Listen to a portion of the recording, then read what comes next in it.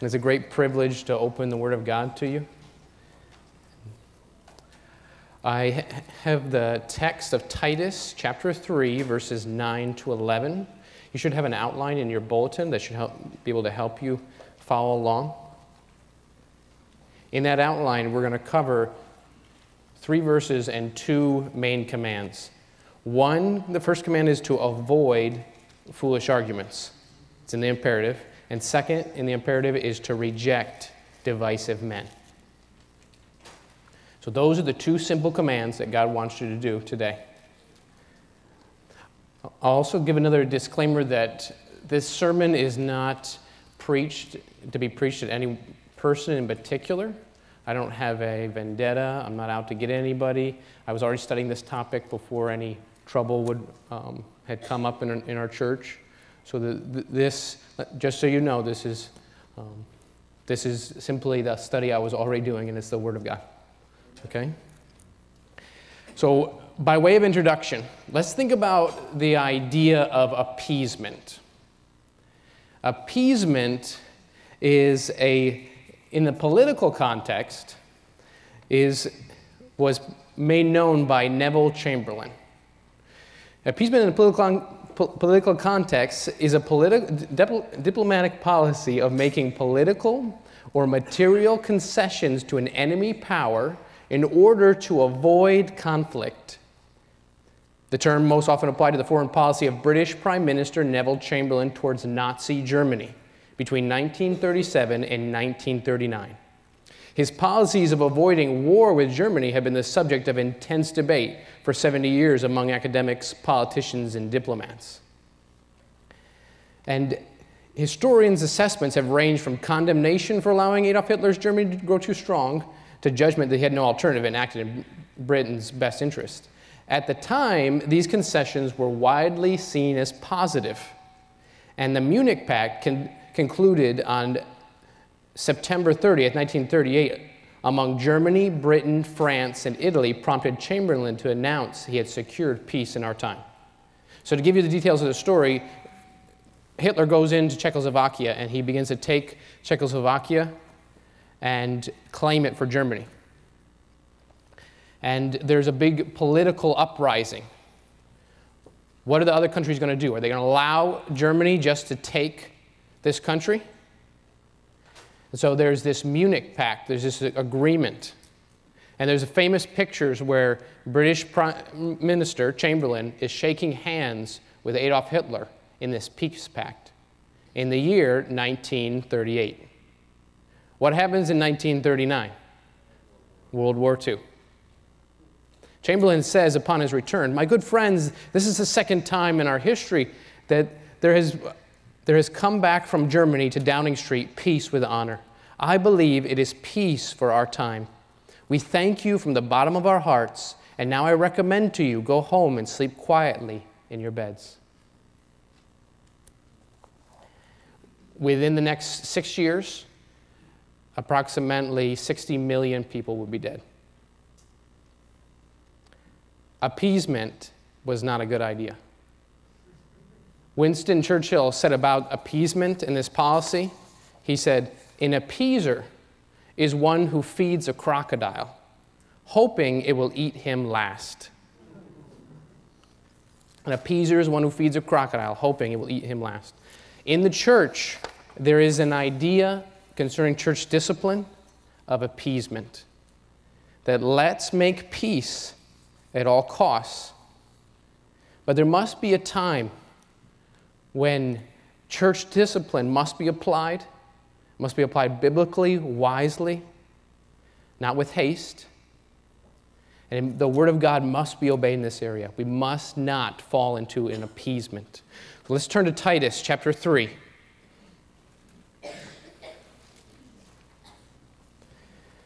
Titus chapter 3, verses 9 to 11. But avoid foolish disputes, genealogies, contentions, and strivings about the law, for they are unprofitable and useless.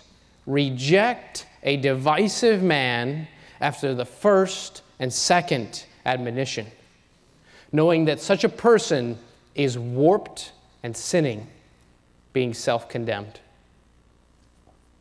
So let's begin to think about the overall understanding of Titus and the book as a whole. This book is a book telling us instructions for the church so that we would be careful to maintain good works. Look at this theme throughout Titus. Turn to chapter 1 of Titus. In verses 5 to 9, we have qualifications of elders. In verses 10 to 16, there's a warning about false teachers. In verse 16, it says they're disqualified for every good work. In chapter 2, verses 1 to 8, we have the importance of discipleship in the church. In verse 7, it says that in all, in all things, showing yourselves to be a pattern of good works. In verses 11 to 15, he says the grounding, he begins to look at the grounding of these good works, is in the gospel. He says in the end of verse 14 that this will produce a people zealous for good works. Chapter 3, verse 1, he says, Remind them to be subject to rulers and authorities, to obey and to be ready for every good work. And again, he goes into the gospel in verses 3 to 7. And verses 8, the results of that I want you to confirm constantly that those who believed in God should be careful to maintain good works. In verse 8, these are good and profitable to men. And he contrasts these good works instead with verses 9, 10, and 11. And then he ends the epistle in verses 14 and let our people also learn to maintain good works, to meet urgent needs, they may not be unfruitful. Church discipline is one of those good works. But what is the grounding for it? Why do we do it? You must be reminded of that if you're to obey this text and have the motive to obey this text in verses 9 to 11. Remind yourself of these truths in chapter 3, verses 3 to 7. For we ourselves, were also once foolish, disobedient, deceived, serving various lusts and pleasures, living in malice and envy, hateful and hating one another. Have you forgotten? Have you forgotten how you were once foolish? How you didn't know the Bible? You may have professed yourself to be a Christian, but in reality, in the commands, that are given, you didn't really know them. And you were disobedient. And you didn't want to know them. It wasn't that you couldn't read, it wasn't that you didn't know the Bible wasn't important. You were purposely a fool.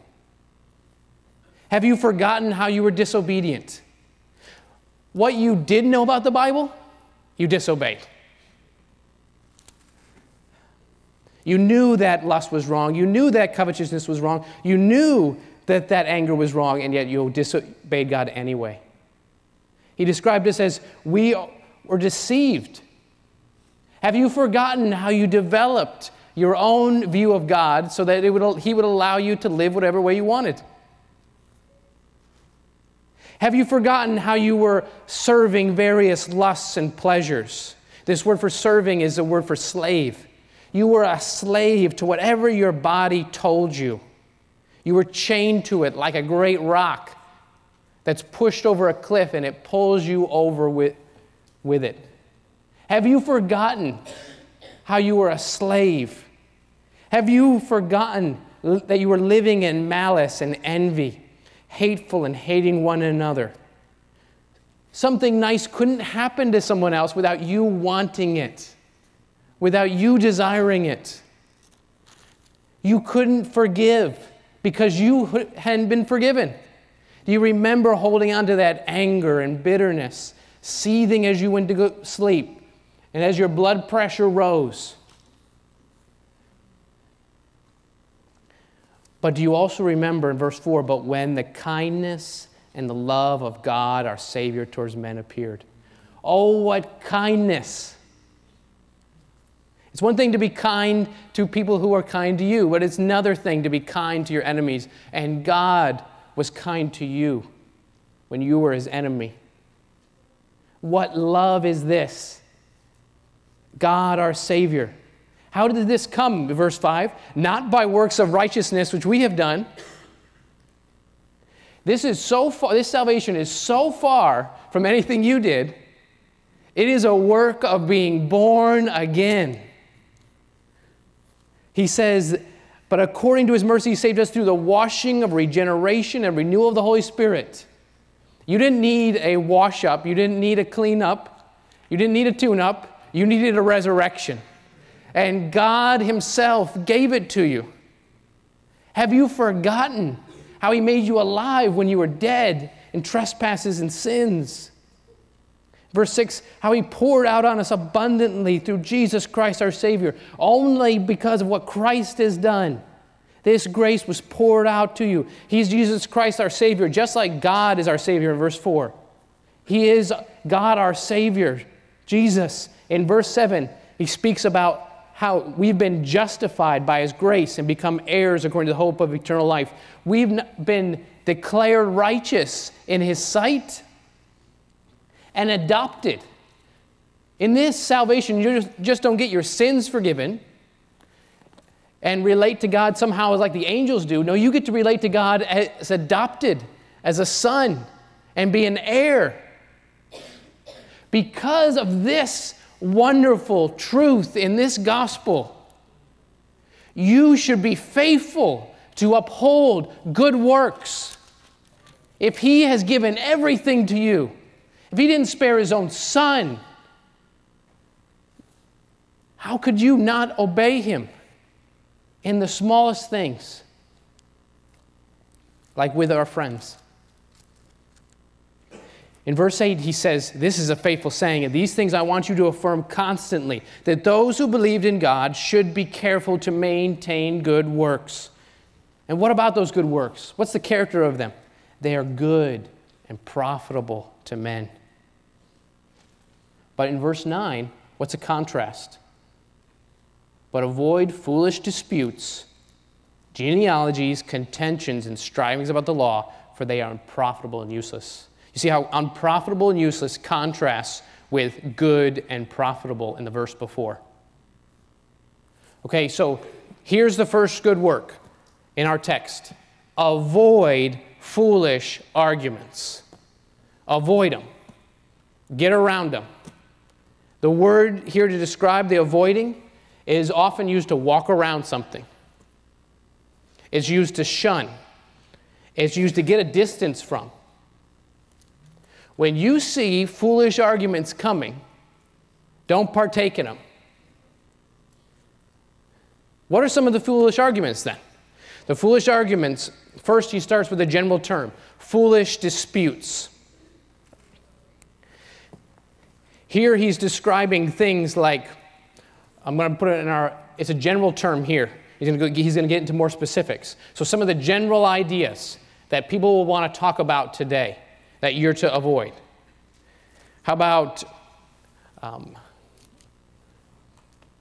in many, with many commentaries, men spend their entire lives debating the, the liberalism of today.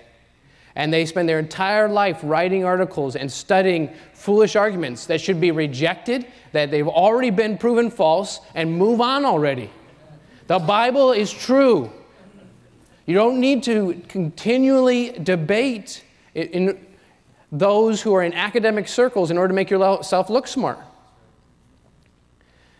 That's a foolish argument that should be, we should move on and move on to more important things godliness, righteousness, what the, the Lord wants us to do, what He's extru- instructing in this epistle. I, you should not spend time um, debating all day with the many details of those in the Jehovah Witnesses about whether Jesus died on a stake or whether he died on a cross, or these many, many arguments that come up that are not going to be applicable to how we live and follow the Lord. The next, next example that the Lord gives is genealogies. Genealogies, remember, this is used one other time in the in New Testament. It's in 1 Timothy chapter 1, verse 4. Pastor Mark covered this. It has to do with th- this old Jewish idea of looking at the genealogies and saying, you know, this is kind of boring. um, let's spice it up a little bit in order to make it more interesting. Let's think up a story and make up a story about somebody in the genealogy. And so it becomes kind of like Aladdin's tales. Oh, wow, the genealogy became very interesting and exciting. Ma- they're making up fanciful myths and stories. Think about today, how we have every few years this idea of a Bible code comes up. The Bible code is a fanciful idea maybe you'll see it online. You know, click here and find out the secret meaning of the Bible. And I'm like, well, I thought it just came from reading the Bible. No, there's, there's a secret hidden meaning of the Bible.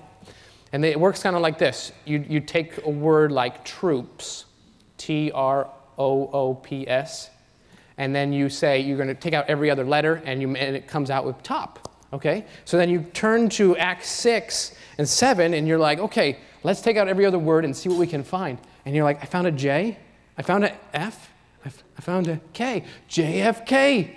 There's a hidden prophecy about the JFK assassination in here. These things aren't new, they come back every generation. It's not just new to Google or whatever, however you see it on. It it is something that continually comes back. It's a foolish, fanciful idea like the genealogies. You should not spend time debating it. You should avoid it. You avoid it because it makes peace in the church. You don't fall into the trap. I remember being with a, uh, a brother, and we were open air preaching, and Hiawassee and Silver Star, and there was a cult there preaching about how um, don't if anyone who eats lobster is of the devil, and he, they were looking at us. They, they knew us that we were Christians, and this cult is preaching about you know not eating pork and things like that. And they say, if anybody has any argument that shows that you can eat this stuff, say it now. And they look right at us. and I'm looking, I open my Bible to 1 Timothy 4 about he's given us various foods, whatever we want to eat. And I'm like, this is a foolish dispute. What am I going to do? Are you in front of a whole bunch of people in public about eating lobster? what would it do to the gospel?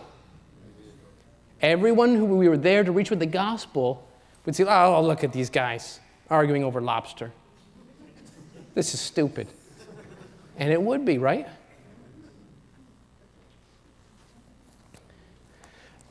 Next, he talks about contentions. It's not just strange, aberrant theological things that he's talking about here. Contentions is a general term about fighting, it's a general term about strife, discord, arguments. It's used in 1 Corinthians 1 and 1 Corinthians 3 to describe the argument of, I'm of Paul, I'm of Apollos, I'm of Jesus. It can be strife among Christians. It's used in Philippians 1 verses 16 to 18, where those who are preaching Christ in order to get at Paul and hurt him while he's in jail. These contentions are in the sin list in Galatians 5:20 about the works of the flesh. They're in Romans 1:29 about the unrighteous deeds.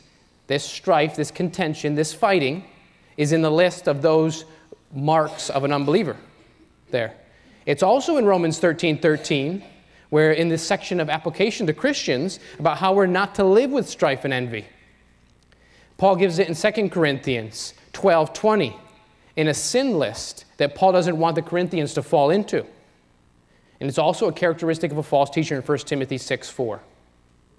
It's general arguing, general discord is in the list of something to avoid, to go around. He finishes out his list with strivings about the law.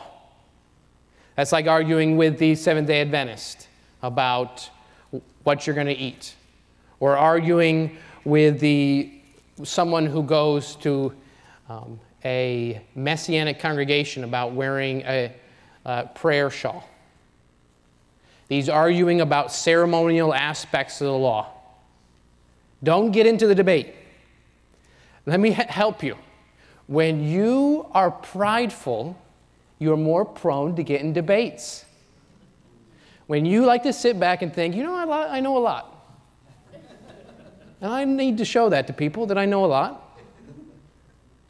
Here's somebody I can put that on display with. Ah. And you are eager for the opportunity to put your knowledge on display. Don't fall into that debate. You got a, a wise man assess this. Is this a fight worth getting into? Is this going to be helpful for the gospel? Is this going to be helpful for this person's soul? You see? Com- we're commanded here to avoid those foolish things. And it's a mix of doctrinal issues and it's a mix of foolish things that are of life. Doctrine and life, doctrine and life. There's regular discord and contention in this list. Okay, so the key part that we're to cover today is verse 10. We've seen that we, one, we're going to avoid, we must avoid foolish arguments. They are harmful and useless. They are the opposite of good works, unprofitable. But instead, what are we to do? We're to reject divisive, a divisive man after the first and second admonition, knowing that such a person is warped and sinning. You must reject a divisive man. Now, there's a number of questions in order to understand this text, right? Um, begin to write these down if you're taking notes, because I'm going to use these to go for the next um, half an hour, maybe. We want to know one, is this a heretic or is this a guy who just has, starts trouble in the church? Is it one of these or is it both? Okay, two, how do you know a divisive man? Divisiveness can be hard to measure. How do you know it? And what is it and what is it not? Three, what does the reject mean? What does that mean? What do I do with him? Four, how does this affect church, the doctrine of church discipline as a whole? And then finally, five, um, are we the only one who believes this way? Okay, so first, the, is this talking about a heretic or a divisive man in the church? The answer is yes. Yes, it's talking about both. It is not only talking about the Benny Hinns of the world or the T.D. Jakes of the world or somebody who's denying the Trinity. It is not only referring to that, but it refers most clearly to someone who causes division in the church, whether they use a big doctrine or a little one. They can use a good doctrine and cause it to be division in the church. Or they can use a evil doctrine. Jesus said, Wisdom is known by our children. Wisdom is known by our children, beloved. Think about what that means.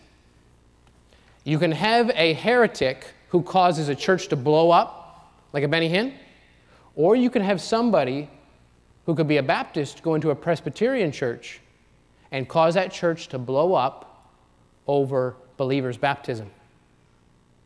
And that person will be using a good doctrine for an evil purpose. The doctrine, eh, wisdom is known by our children, it produces the same result. Satan doesn't care whether he blows up the church with a heresy or with a, with a, a good doctrine. But with a, when a man is divisive, he must be rejected. Wisdom is known by our children. What else shows that this text is talking about division in the church? That it is the heretic and the man who causes division in the church is shown by the overall context in Titus. Okay? Think about chapter 1, verses 10 to 16. There are idle talkers, deceivers, especially those of the circumcision. There's doctrine. And verse 16, they're being abominable, disobedient, disqualified for every good work. The combo of life and doctrine. Chapter 2, verses 1 to 10. There's a doctrine of discipleship. There are things that are, speak the things, verse 1, which are proper for sound doctrine.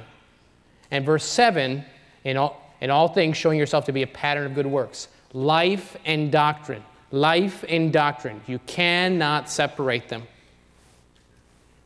In verses 11 to 15 is the next section. We have the doctrine of the return of the Lord. We have the doctrine of our, our sin and need for repentance, the doctrine of conversion, that the grace of God teaches us that we would deny ungodliness and worldly lusts.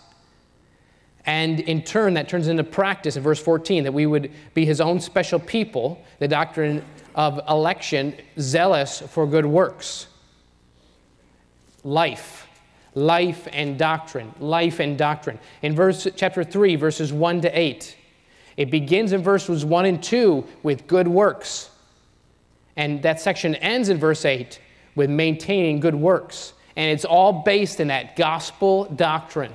Life and doctrine, life and doctrine. And so this next section in verses 11 to, um, 9 to 11 is the same idea. In here is life and doctrine.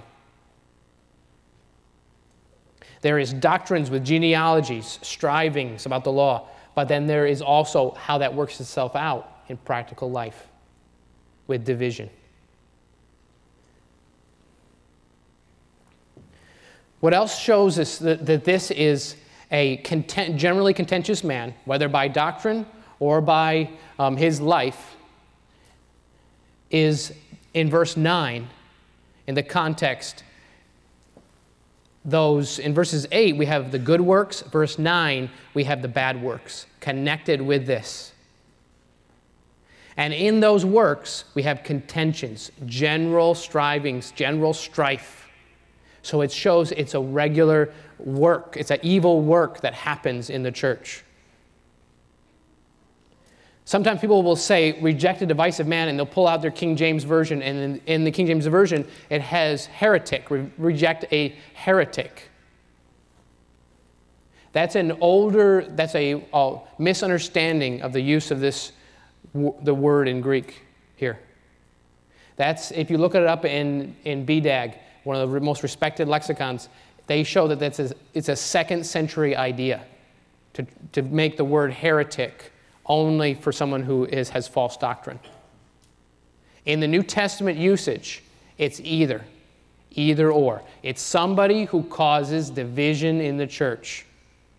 That's why it's translated this way in your ESV, in your um, NKJV, or in your NASB. Reject a divisive man after the first and second admonition. The word is used that way in the New Testament as well. When you look up all the uses in the New Testament, there is the uses of general strife. Here, it's also used of um, an adjective. It's the only time that this word for division is used as an adjective in the Bible. And it's described to the man. And Paul does it in such a way that he uses more words than are necessary. And when you're looking at it in Greek, you can kind of see, he, you know, he was a little he, wordy here. Why was he doing that? To make it very clear that this is the man's character. It's known by his fruit, by what he does. That he's not just a man who has done divisiveness, he is a divisive man. All of us, beloved, can be divisive. All of us have the danger of being divisive with one another. But here we're talking about someone whose character is known by this now. He won't stop doing it. He can't stop doing it. It's in his blood. So we know it by the overall context of Titus that this is talking about general strife in the church, general division in the church, and not heresy alone. We know that by the general over, understanding of Titus in the context of Titus. We know it with a contrast with verse 8. We know it with the description of contentions in verse 9. We know it with the actual description of divisive man. We also know it in the contrast of in verses chapter 1 verses 10 or 9 to 16 there's the description of the heretic and it's a qualification of a pastor in chapter 1, verse 9, that he may be able to, uh, by sound doctrine, both to exhort and convict those who contradict. it, in verse 11, their mouths must be stopped. They're, in verse 13, they must be rebuked sharply. There's a different pattern for how to deal with the heretic here than there is in Titus chapter 3, verse 10, where he says, Reject a divisive man after the first and second admonition. So, because of all these reasons, you can see that this text is talking about general divisiveness, and you can use a big doctrine or a small doctrine. Okay, so now, now that we looked at what this is, what about the practicality of it? How do you know a divisive man? What is one and what is it what is not a divisive person? That in Jonathan Leeman's book on church discipline, he gathers some principles um, in pages 112 to 113. And you want to write these down.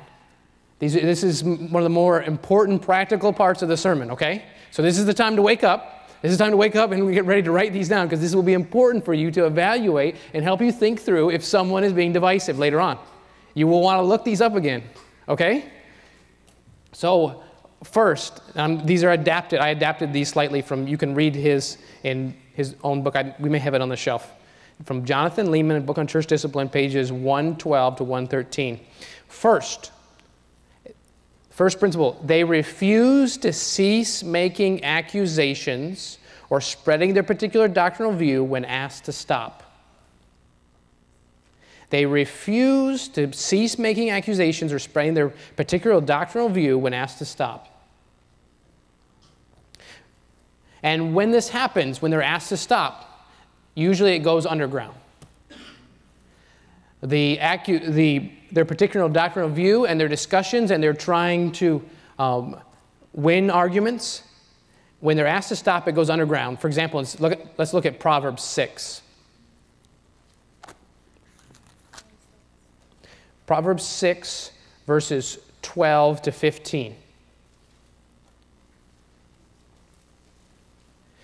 A worthless person, a wicked man, walks with a perverse mouth.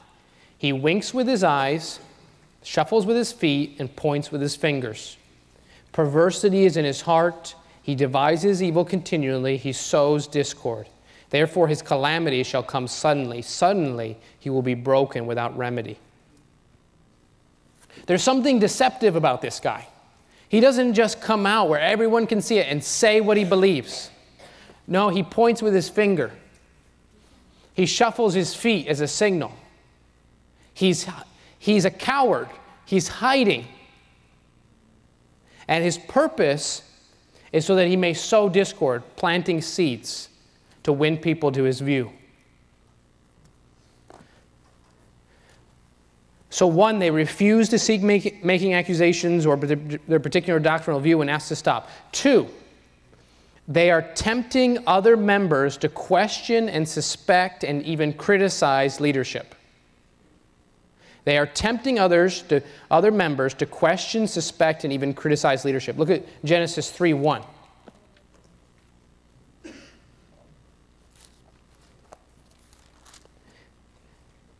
In Genesis 3:1, now the serpent was more cunning than any beast of the field which the Lord God had made, and he said to the woman, Has God indeed said, You shall not eat of every tree of the garden? What is Satan trying to do here? But he's trying to get Eve to suspect God, to question God, to criticize God. And, they, and he does it by a question. So, number three, the next principle of a sign of a divisive man. He's actively recruiting fellow dissenters. Actively recruiting fellow dissenters. Proverbs 16, verse 28.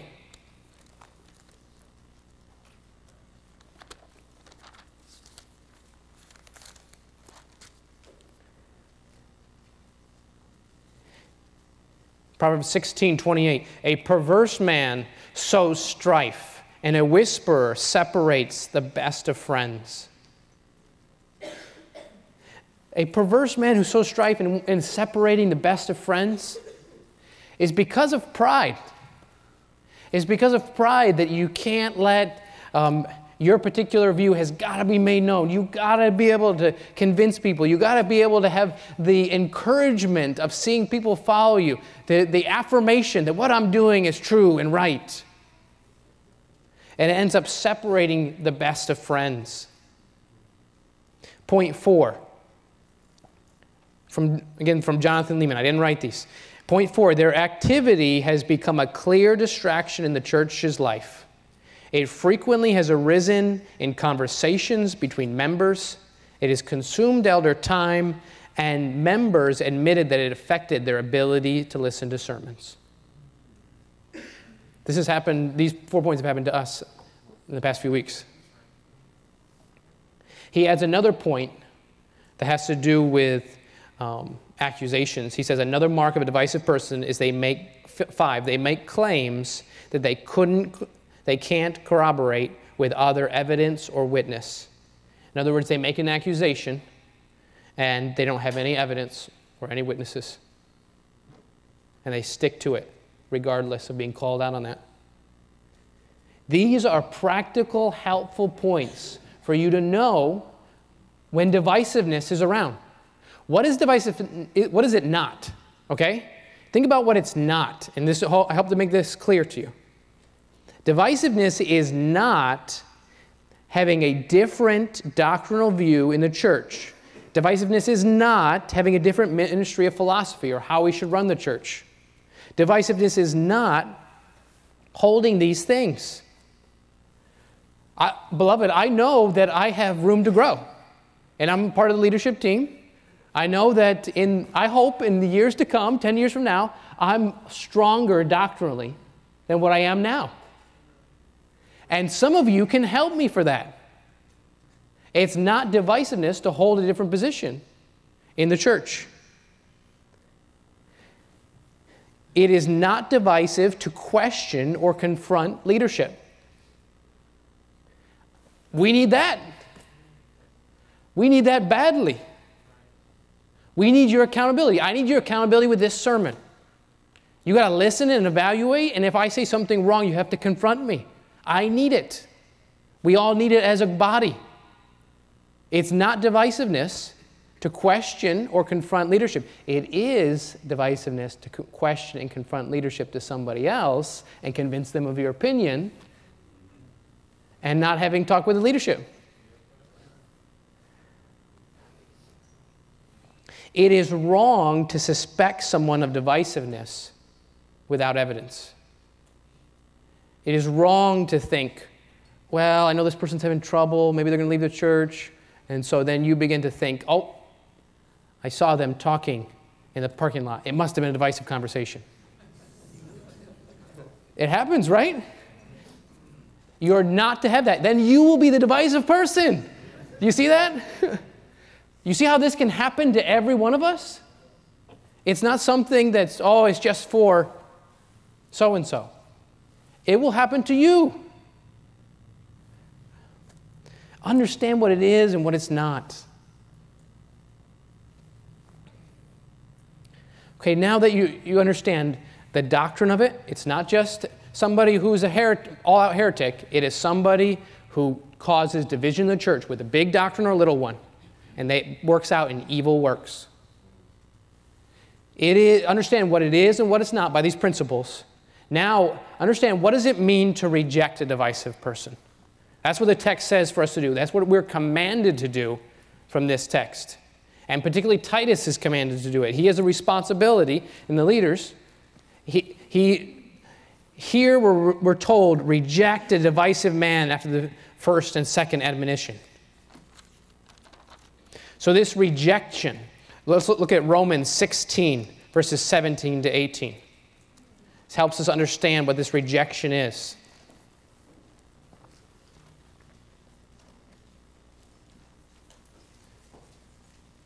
Now I urge you, brethren, Romans 16, 17. Now I urge you, brethren, note those who cause divisions and offenses contrary to the doctrine which you learned, and avoid them. For those who are such do not serve our Lord Jesus Christ, but their own belly, and by smooth words and flattering speech deceive the hearts of the simple. So here you're told to avoid them, don't hang out with them. In the commentary on Titus, Knight says that they must be removed from the fellowship of the Christian community. Though ESV says, have nothing more to do with them. Have nothing more to do with them. In the same way this word is used, paraitheomai, it's used for rejecting false doctrine. I looked up in 13 different dictionaries, and every one, when they refer to Titus 3, you know what they say? Reject them. Have nothing more to do with them. You don't hang out with the person. That's what it means. In the New Testament, I look up all the uses of this um, verb in the New Testament, and it, none of them are dealing with a person. So I'm like, how do I understand? Okay, what do I do with a person?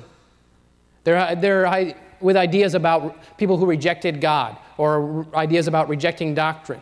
But what do I do with a person? Well, Josephus helps us with that because he's using the same type of um, Koine Greek, right? And he describes, when he tells about the story of Amnon and Tamar, he uses this word. Amnon and, and Tamar, Amnon wanting to sexually abuse his half sister. So he devises a plot. Okay, I'm going to pretend like I'm sick, and she's going to make me some pancakes, and because she makes them just right. And then he's going to kick everybody else out of the house, so that he can attack her. And the word that he uses to say to get everybody out of the house and not be there is this rejection. Have nothing more to do. Get they are out, out, out, out of the presence, so that he can attack her. What we are to do with a divisive person what you are to do is to reject them when it gets to this point. Have nothing more to do with them. Okay, so now how does this affect the doctrine of church discipline as a whole? Some will say, well, this can't be a text on church discipline because it's different than Matthew 18. Where are the steps? Listen, church discipline doesn't come in a box that you just hand out to the same dose to everybody in the same measure. If somebody comes, we used this example before, somebody comes, you know, I'm planning to kill so and so, I'm planning, you know, I'm planning to kill this guy over here, that you don't bring him back. You don't allow him back for the next service, right? You don't handle him the same as somebody who's having trouble with their marriage or something, right? You don't handle church discipline in all cases the same. And the Bible expresses that and gives different prescription for different types of people. In 1 Corinthians 5, Paul from a letter, from a letter, he's not there. He says, get the church discipline on the move. He's already out. I'm, I'm telling you in the letter, he's already out, this guy in Corinth. And why? Because of the circumstance, because of the public nature of his sin. Everybody knew it. There's a different circumstance, so he has a different set of steps. Matthew 18 is the norm. Here in Titus, there's a particular danger of divisiveness, and speed is of the essence. Speed is of the essence, beloved, because divisiveness is a church destroyer. And it can happen just like that.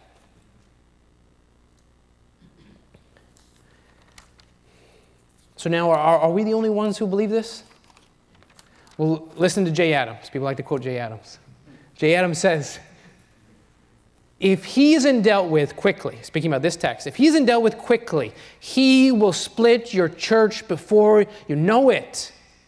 Many churches have been destroyed by failure to observe this command to the letter, thinking they knew better than God.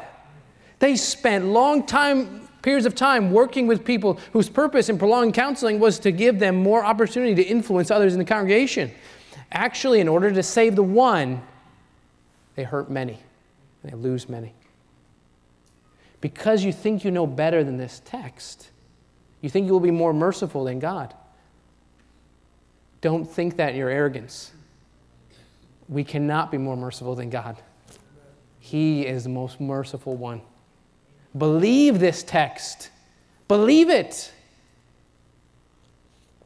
Some more quotes. Bryan Chapell says, There's a difference between needing to divide and loving to divide. A divisive person loves to fight. The differences are usually observable. A person who loves the peace and purity of the church may be forced into division, but it's not his character. He enters arguments regrettably and infrequently. When forced to argue, he remains fair, truthful, and loving in his responses. He grieves to have, other, to, have to disagree with a brother. Those who are divisive, divisive by nature lust for the fray, incite its onset, and delight in being able to conquer another person. In other words, they love to debate.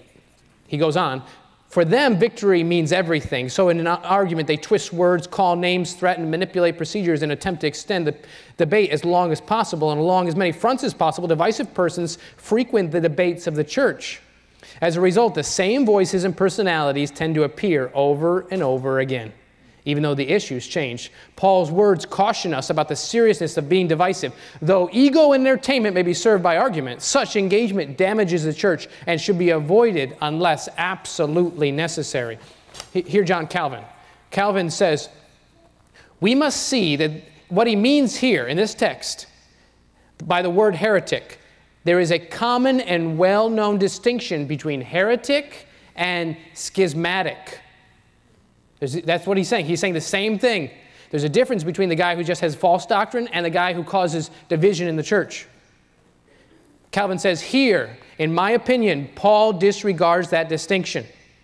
For by the term heretic, he describes not only those who cherish and defend the erroneous and perverse doctrine, but in general, all those who do not yield assent to the sound doctrine which is laid down a little before. In other words, those strivings, was in verse 9 those contentions. He goes on, this under, under, under this name, he includes all ambitious, unruly, contentious persons who, let, led away by sinful passions, disturb the peace of the church and raise disputings. In short, every person who, by his overweening pride, breaks up the unity of the church is pronounced by Paul to be a heretic. Steven Cole is a pastor in our Conservative Baptist Association out in Arizona. He says regarding this text Some people say, that it means something less than excommunication. But surely Paul wouldn't allow such divisive, sinning men to remain in the fellowship of the church, trying to recruit more people to their cause. Since divisiveness and trying to recruit people to join a faction are sins, those who persist, persist in such sins must be put out of the church after the first and second warning by church leaders. He, goes on, he says, It's far easier to debate theology and abstruse points of doctrine than it is to love your wife, as Christ loved the church, to love your children and bring them up in instruction of the Lord, to be a good worker at your job and to practice the fruit of the Spirit on a daily basis. That is not to say that theology is unimportant or irrelevant. Quite the contrary, he says. Rather, it's, it's, it is to say that it's easy to use theological debates as a convenient cover for sins such as anger, pride, selfishness, impatience, and laziness. Johnny Mack says about this text So he stands against the truth, speaking of the divisive man, against the leadership of the church, against the will of the Spirit. He may be holding some novel interpretation, some novel myth, some genealogical extrapolation, some mystical interpretation. He may be holding some ignorant interpretation of Scripture. He may also be holding some course of action, some personal whim, some personal preference about behavior or conduct or whatever. The issue is he is divisive. What do we do? The verb says reject. Reject, that's the last word, have nothing more to do with them. Reject. It's very much like Matthew 18, 17. Let him to be to you as a pagan and an outcast. Cut him off from the fellowship. In 2 Corinthians 3, verse 14, if anyone does not obey our instruction in this letter, take special note of that man. Do not associate with him so that he may be put to shame. Do not regard him as an enemy, but admonish him as a brother. Do you see the again the twofold purpose is to win him by shaming him. It's concern for his soul, the divisive man. It's also concern for the church. We're not the only ones who believe this in history or presently. But I, I, I, tell you, church discipline, many people grow tired of it because it's hard work. Don't grow tired of it, beloved. Remember the first church discipline in the church, Acts 5. God kills Ananias and Sapphira. He's the one who takes the first act. in it. And people were afraid to come because of it. People didn't come to church because of the church discipline that happened there. You know, I'm using that lightly. You know, I'm, to say what God did was very serious. Okay? And I plead with you if you disobey this text, it will have great effects on your life. Think about the, the blessings of unity. Don't you remember Psalms 133? How good and blessed is it for when brethren dwell together in unity. It's like the, the, the oil that comes down Aaron's beard or the, the dew on Mount Hermon. Remember that text? How good is it when we dwell together in unity? Not uniformity, but unity in the doctrines that we hold. But oh, what a destructive force it will bring in your life if you say, you know, I know better than, than God. I'll be on Facebook with my, my friend who may be divisive. I will, and I, I warn you uh, that, that you can't underestimate what it means to disobey God's word. You can't underestimate the foolishness of rejecting this command. It's a church destroyer. It's a poison when you say, Well, I can see these points of wisdom. I see that uh, um, the points of divisiveness and how it's in somebody, and I'm going to hang out with them anyway. That's a bold face defiance to God. Be warned. Be warned. If you don't reject a divisive man, that poison will come in your life. So I, I warn you and I plead with you please, please don't fall prey to this in your pride and your arrogance. But because of the gospel, remember that this command is to be obeyed.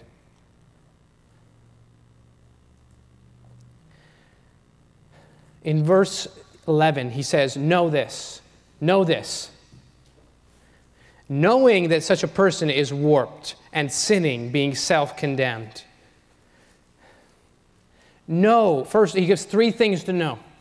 Know first that he's warped. This is referring that he's corrupt. It's like Calvin uses a description of a condemned building in this term. To say that just like when you look on a building and it may look all right on the outside, but inside it's a crumbling edifice. It's ready to fall down upon you. So it is with a divisive man. He may look all right on the outside, but he's already corrupt and perverted, warped. And the, the verb usage here is very interesting. There's a difference between warped and sinning in this one sentence. Warped is in the perfect passive. Sinning is in the present active indicative. So the, what that means is he's warped. It happened in the past with ongoing results. It's a past completed event. His warping already happened. And now you're just seeing the results of it. You see? And in many cases, it's because he's lost. He's already warped. And know now what he's doing now in the present active indicative, what he is sinning. Don't make any doubt about it. He is sinning with divisiveness. Know that the divisive man is warped. Know that he's currently sinning. And know that the condemnation doesn't come from the church, doesn't come from you, doesn't come from, it comes from him. He is he's self condemned. He's the one who did it to himself.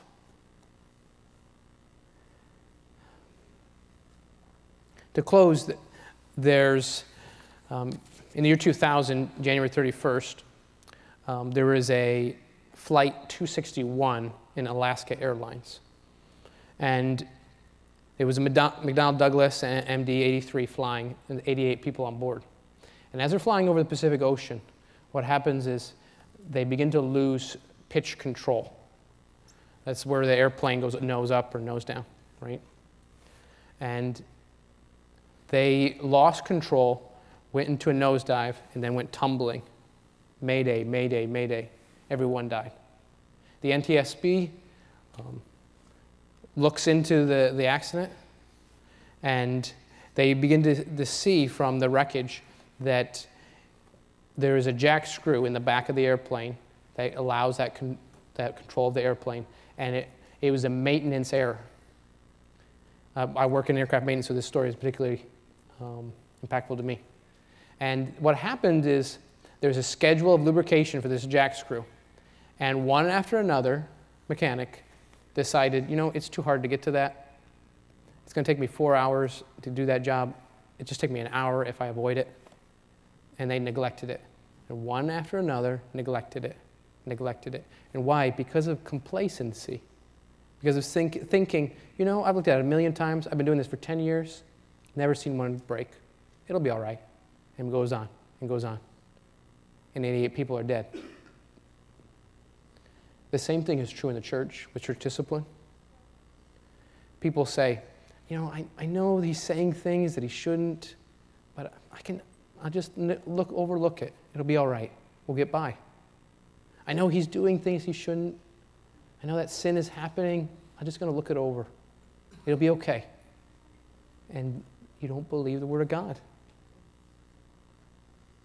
No, I believe this text. I believe it so much that I will live it with the people I love. I believe what God says here. And I believe that even those who are genuine believers who have left, and I see them disobeying this command, I know the effect it will have on them. I believe it, so I'm going to live it by God's grace. Do you believe it? Do you believe this? Will you apply this with wisdom and grace? Will you apply this believing the Word of God that this is a command that you need to obey? Beloved, apply it with all wisdom, grace, and fervency. God knows better than us. Let's pray. Dear God, please help us to be balanced. Help us not to suspect our brothers and sisters on in an unrighteous way. Lord, help us um, with those who are, without a doubt, been divisive. Help us to, to faithfully obey your word in, in great faith because of what you've done in the gospel. Lord, we don't deserve to be in the church, we don't deserve to go to heaven. Help us, Lord, to conduct ourselves with good works in, while we're here in the church. We need you, Lord, desperately with this. Amen.